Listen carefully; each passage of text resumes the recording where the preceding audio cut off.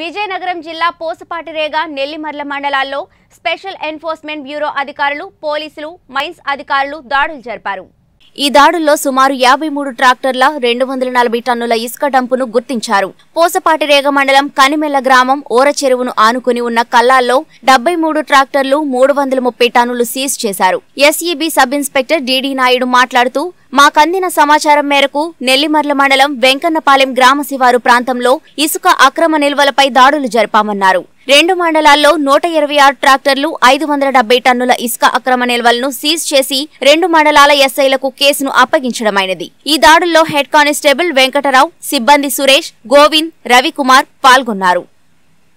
ఈరోజు ఎస్సీబీ ఎస్సీబీకి వచ్చిన సమాచారం మేరకు పోస్పాట్రేగా నెల్లిమర్ల మండలాల్లో ఇసుక అక్రమ ఇసుక నిల్వల గురించి దాడి చేయగా సుమారు ఐ- ఐదు వందల డెబ్బై టన్నులు ఐదు వందల డెబ్బై మెట్రిక్ టన్నులు ఇసుక అక్రమ నిల్వలు గుర్తించడం అయింది. దీనికి గాను మన మైన్స్ సిబ్బంది మరియు రెవెన్యూ సిబ్బంది వాళ్ళ సహకారంతో ఈ మొత్తం ఇసుకను సీజ్ చేసి నెల్లిమర్ల పోస్పాట్రాగ్ ఎస్ఐలకు తదుపరి చర్యల నిమిత్తం అప్పగించడం అయింది.